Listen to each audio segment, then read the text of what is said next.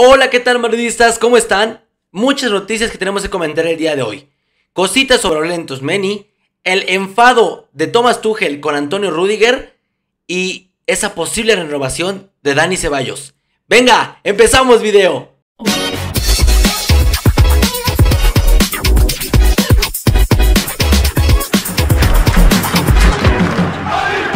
¿Qué tal madridistas? Muchísimas gracias por acompañarme en un video más en el canal. Como ya les comenté, vamos a, vamos a comentar muchas cosas sobre fichajes, sobre nombres propios que están sonando en el mercado y que el Madrid ya viene siguiendo desde, desde hace un poco, un poco de tiempo, ¿no? No quiero que se haga muy largo el video, pero también quiero empezar recordándoles que ya somos casi 400 suscriptores. Cuando lleguemos a los 450 vamos a tener una gran sorpresa y bueno, les, les animo a que se suscriban, denle like a todos los videos y, y por favor Gracias por, por, bueno, bien gracias por formar parte de esta gran comunidad que poco a poco estamos creando.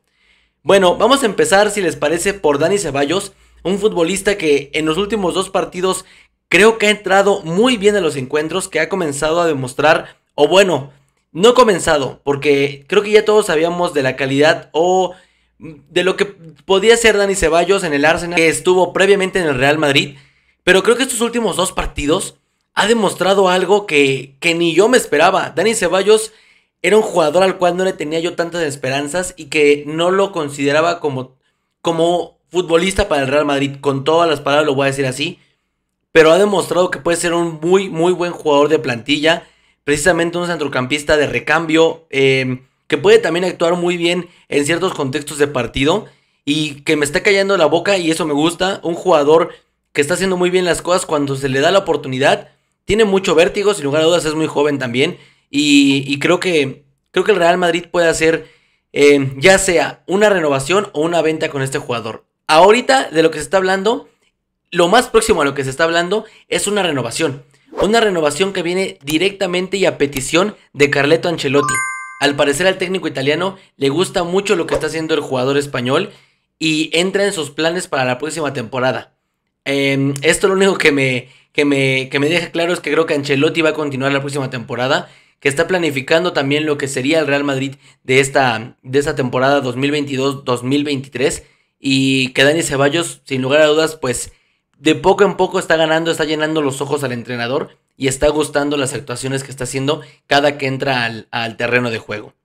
Ahora, también vamos a, vamos a hablar sobre, sobre otro jugador, otro centrocampista que está siguiendo mucho el Real Madrid, eh, más de corte defensivo y estoy refiriéndome a Aurelien Tosmeni. Em, según las informaciones, el Real Madrid no quiere pagar más de 40 millones de euros por el joven jugador del Mónaco que me parece tiene 21 22 años. Un jugador, como lo sabemos, muy jovencísimo. Eh, del corte muy parecido a Casemiro, pero que tiene, tiene pues esta, esta juventud impregnada totalmente. Tiene mucha llegada también de balón y es un portento físico por cualquier lado donde lo veamos. Eh, el Real Madrid lo busca ya desde, desde hace rato. Creo que es el recambio perfecto para el centrocampista brasileño. Pero no quiere pagar más de 40 millones por el jugador. Creo que de hecho se venían manejando cifras iniciales de 80, 60 millones. Y el Real Madrid eso no lo, no lo, planea, no lo planea pagar. Se están viendo las opciones de ofrecerle jugadores al equipo, al equipo francés, como por ejemplo Luka Jovic, el propio Dani Ceballos, jugadores que no entran en los planes del Real Madrid para la próxima temporada y que puedan abaratar el costo del jugador de la, de la joven perla francesa del, del equipo del Mónaco, ¿no? Yo creo que, que los 40, 50 millones es una cifra muy buena si el Real Madrid logra conseguirlo de esta manera. Y, me parece bien que, como en todas las negociaciones, el Madrid siempre marque una pauta por los futbolistas.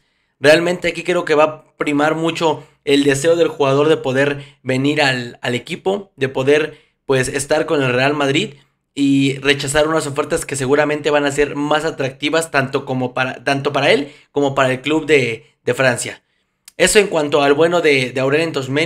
Y finalmente vamos a hablar de Antonio Rudiger, un fichaje que del cual pues no he hablado y lo, lo estoy ya pues prácticamente denominando así como fichaje porque al parecer todas las informaciones llevan a lo mismo. Después de las grandes actuaciones que ha tenido el futbolista, el, central del, del, Chelsea, tanto con el Real Madrid como en la, en la Premier. Me parece que, que se ha decidido completamente nuestro cuadro blanco en ir a por él. Y yo, si bien en un principio me, me, me ponía un poco reuso la idea, porque creo que hay una mejor opción y que seguramente vamos a hablar el día de mañana en un video en específico de esto, pero creo que viendo bien es una opción extraordinaria, eh, por el precio obviamente va a llegar gratis y creo que después de bajar sus expectativas eh, salariales de los 10, 12 millones que pedía, que era una completa barbaridad para lo que es hoy por hoy Antonio Rudiger, em, me parece la opción indicada. Al parecer, en Chelsea ya lo saben también, ya saben que el jugador, si bien no sé, no sé hasta, hasta dónde tengan el conocimiento, pero o tienen un contrato ya con un precontrato ya con el Real Madrid, o prácticamente está hecho ya el, asunto con nuestro equipo. Lo saben y Tuchel se ha mostrado muy descontento, muy... Em, pues no triste, no lo voy a decir triste, pero pues sí muy desanimado en el hecho de que el jugador ya haya tomado una decisión después de haber disputado la eliminatoria eh, contra nuestro Real Madrid en la cual ganamos. Y bueno, yo creo que todas estas indicaciones, todas estas informaciones eh, solamente apuntan al Santiago Bernabéu. Excelente fichaje se, se llega a concretar, excelente jugador que ya demostró su valía en la Copa de Europa. Madridista, dame tu opinión sobre estos tres nombres propios. ¿Qué tú querrías hacer con cada uno? ¿Y qué es lo que más le conviene a nuestro Real Madrid? Sin más, activa la campanita, comparte el video para llegar a más madridistas si te gustó el video, regálame un like y suscríbanse al canal los que aún no lo están. Venga, nos vemos en el próximo video. ¡A la Madrid!